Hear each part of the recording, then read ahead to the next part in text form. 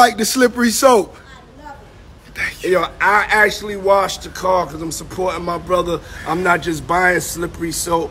I'm actually using it myself. So, yo, just just stay tuned to see Diddy and Ross wash the car. You never And know Diddy, we- and we- Diddy got on Carisha roof of the truck.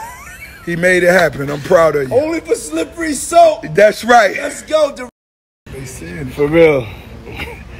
I'm proud of my brother for real. I was saying like how he had the car show he pulled up on me Pulled it off. and um I got to use his products and I, we was like, you know, let's have a you know, an act of love because washing the car, most hustlers don't wash a car. Not no a lot a lot of cats got A ego. lot They got, got- you feel like you too big for yeah, they got really shame in their game. We don't have no shame in our game. We gonna get to this money. We gonna wash the car. We gonna go door to door. Ain't nothing stopping this. Ain't nothing stopping this. We want it all.